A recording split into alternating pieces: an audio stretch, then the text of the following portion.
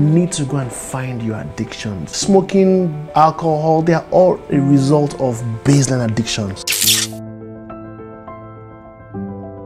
When people say addiction, you know we all have addiction, all of us, everybody. It's not about pornography. Porn is a result of an addiction. Maybe you you you you are, you are addicted to to high energy dopamine, or maybe you are addicted to something. Maybe you can't noise. So smoking, alcohol, they are all a result of baseline addiction. Some your addiction is attention. Some your addiction is control. You need to go and find your addictions because it affects your marriage a lot. I think I was addicted to control. I'm getting better at it. Yeah, that's what I do. Not in a bad way, but I had a plan for my family, It's gonna hurt you. Yes, ma'am. I'm journeying, I'm on learning. I'm a great guy, so you will not know that I control the, the way people perceive us. But this, lie. No more.